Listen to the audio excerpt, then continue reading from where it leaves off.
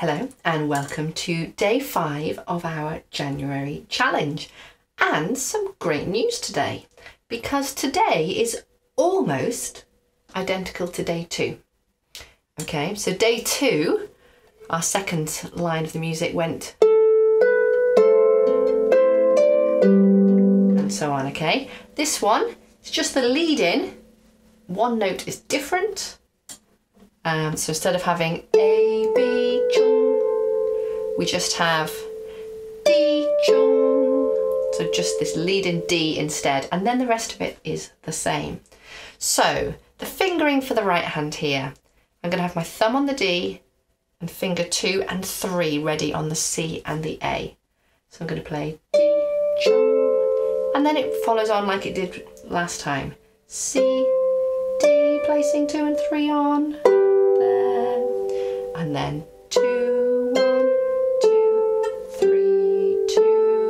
my third finger ready to then fall into, yeah, and then this is all the same.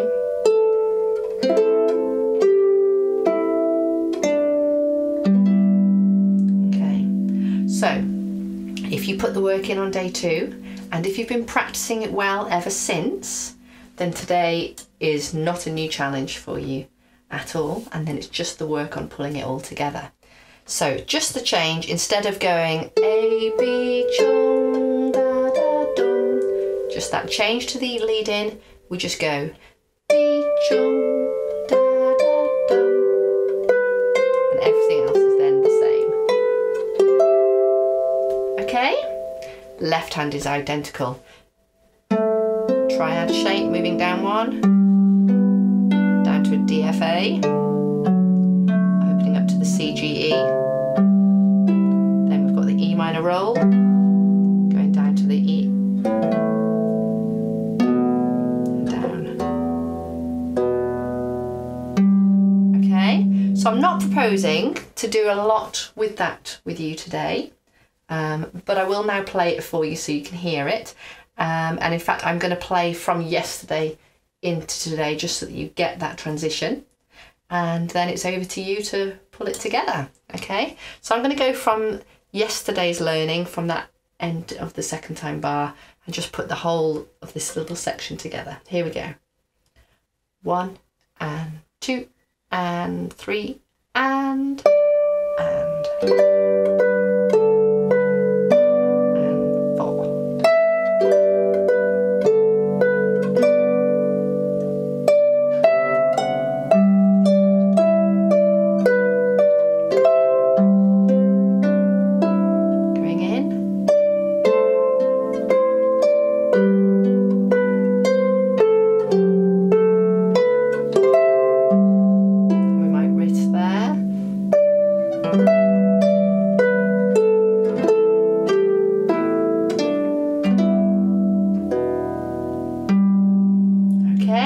well done. So, we talked back on day two, we talked about the slight trickiness of having two and three on our chord. We're so used to doing these with one and two, but okay? So nicely have your palm over those notes. We're not reaching for it. It's got a nice elbow out. And then just let them come in. Just really let them and let them come in like that. And chances are they will then land very neatly together. Excellent, well done. So join me on the play along video. We'll do it at a few different speeds, a much slower one than I've just done, um, and then closer to that. And then tomorrow is going to be another one of our days where we work on making sure that we've really got the flow through between all our sections. So that's tomorrow. Okay, well done.